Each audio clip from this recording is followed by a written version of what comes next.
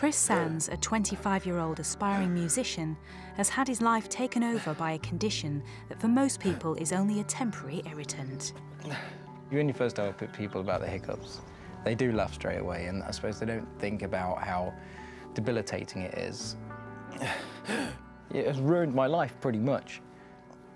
You okay? Yeah, it's just always difficult to walk. Because you can't take breaths in the right places. Chris's hiccups are so extreme, he's unable to work and still lives with his parents in the small Lincolnshire town of Timberland. His mother, Christine, is all too aware of how important her role is while Chris searches for a cure.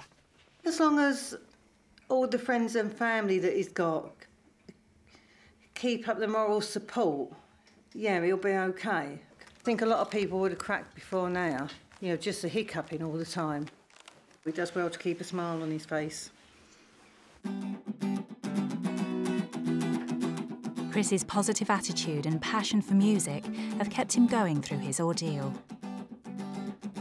His dream is to be signed by a record label, but the hiccups have made it impossible for him to pursue his career.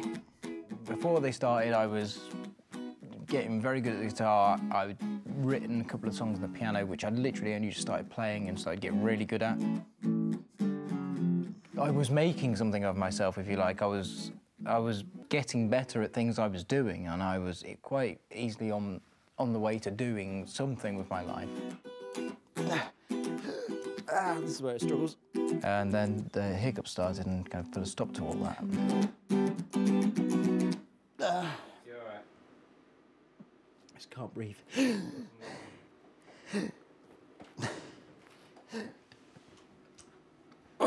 No, I'm all right.